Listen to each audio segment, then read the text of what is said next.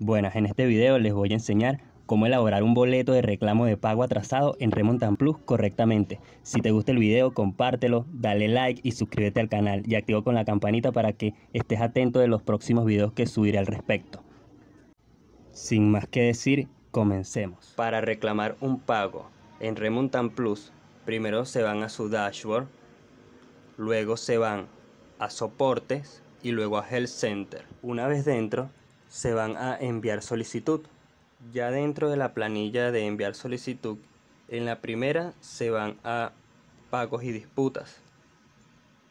En la segunda opción se va en reclamo de la semana 1.18.2021. En la parte de abajo se van en la opción que dice RT Plus, yo no he recibido mi pago esta semana.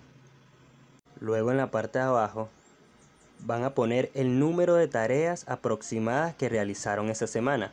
Eso lo van a encontrar en su dashboard principal en el historial.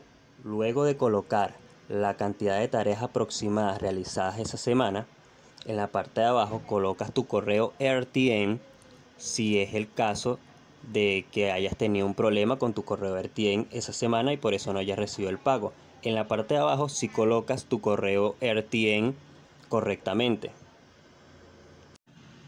En esta parte vas a colocar la semana de pago en la cual estás reclamando.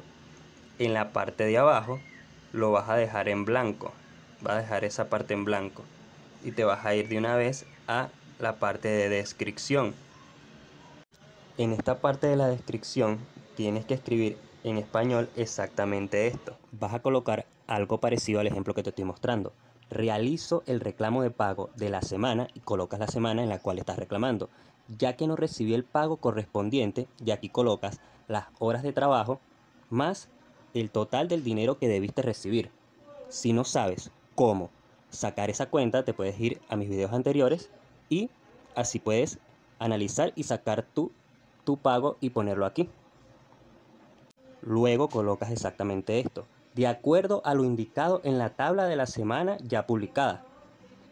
Anexo captura de mis actividades en RTN. Aquí te tienes que ir a tu RTN, ir a las actividades de tu RTN y tomarle un capture.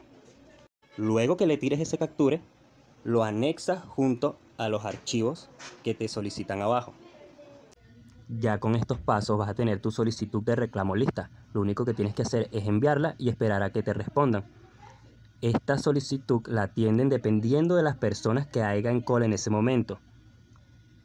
Pero, enviando la solicitud de reclamo, como le acabo de explicar, pueden asegurarse que van a tener su pago lo más pronto posible. Ya con esto me despido, si les gustó el video pueden compartirlo, darle me gusta y activar la campana para que estén pendientes de los videos que subiré próximamente. Hasta luego.